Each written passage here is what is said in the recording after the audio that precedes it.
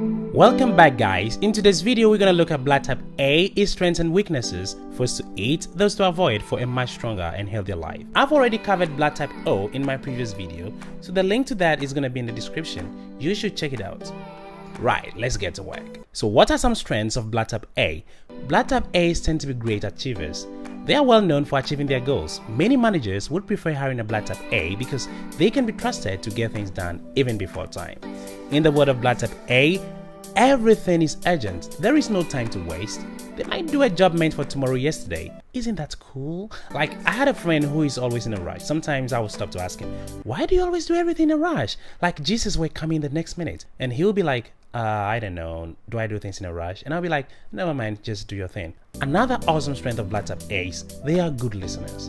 Being a good listener isn't just about not talking and watching the other person in the face like an idiot, but it's about looking out for the key points in whatever the person is saying, analyzing it, and asking the right follow up questions. And that brings us to the next strength of Type A. They are very detail oriented.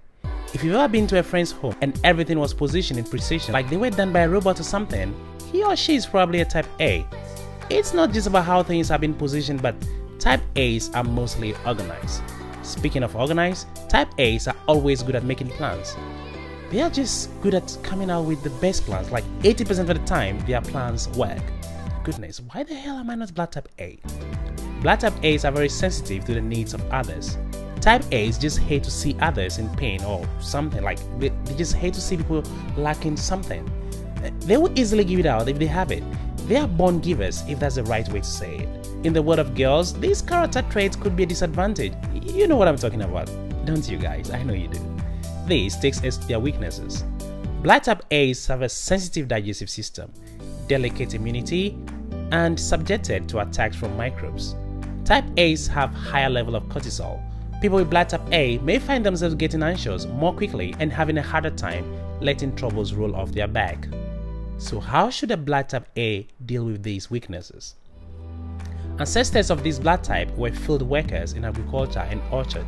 So that's why vegetarianism is the best way for a healthy life. I know, I know.